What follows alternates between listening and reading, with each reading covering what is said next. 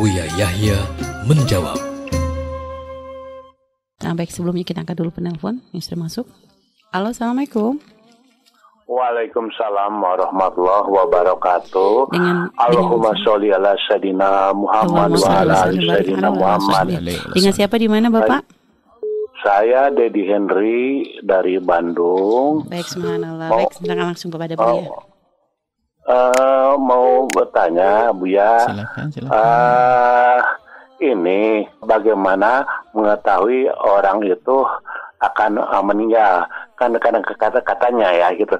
Eh, kalau ada yang meninggal itu kan suka keluar auranya. Terus kalau eh, kita eh, apa namanya eh, menunggu orang yang sakit. Nah, ba- bagaimana kita tahu bahwa eh, itu dia itu eh, sebentar lagi akan meninggal gitu Bu ya. Ada satu lagi Bu ya mengenai itu saya kan itu suka sholat uh, rawatib ya eh, yang zuhur misalkan empat rakaat. Nah niatnya itu satu kali eh, yang kalau eh, masna-masna eh, Bu Iya, ya eh, satu kali atau setiap salam harus eh, niat lagi Baik. gitu Bu ya. Nah, Assalamualaikum warahmatullahi wabarakatuh. Waalaikumsalam warahmatullahi wabarakatuh. Langsung ya. Yang pertama adalah hendaknya kita berhusnudon kepada Allah. Tidak berprasangka buruk. Artinya nggak perlu kita berprasangka atau menduga kalau orang ini ada tanda-tanda kematian.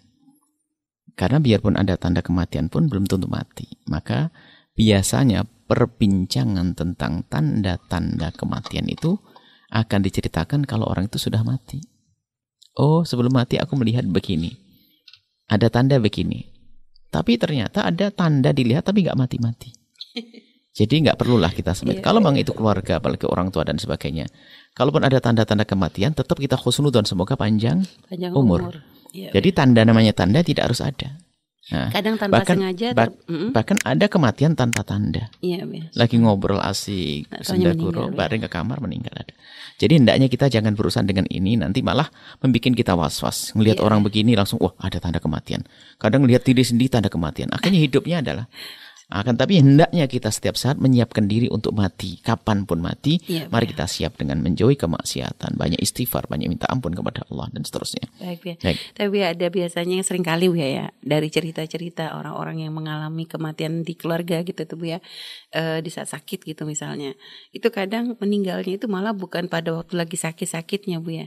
Jadi udah dikira sehat, udah makan, udah kelihatan seger, fresh, udah mau pulang tiba-tiba meninggal gitu Bu ya. Itulah Itu kadang menjadikan eh, ada kekhawatiran It- tanpa disadari gitu. Itu It- gimana it- menghilangkan itu, ya? boleh. Itu yang kami sampaikan. Ada orang ada tanda kematian, yaitu sakit-sakit nggak mati-mati.